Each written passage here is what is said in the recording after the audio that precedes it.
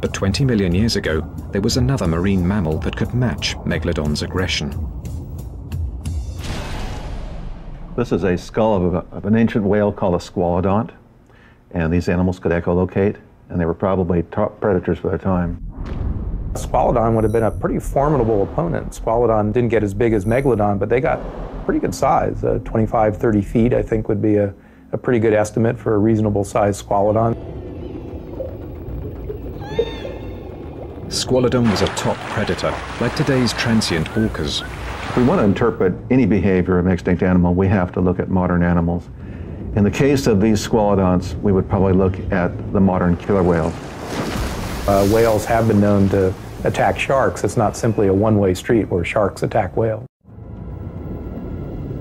Squalodon, at a maximum length of 9 meters, would not have taken on a 15-meter megalodon by itself, but they would fight. If the megalodon spotted a squalodon, it wouldn't have hesitated to attack. Scientists believe these marine mammals may have traveled in pods.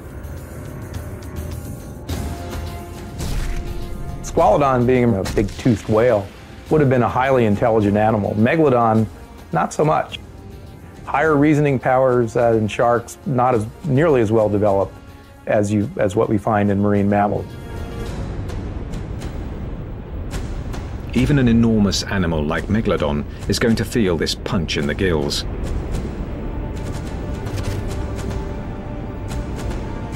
This time, it's outnumbered.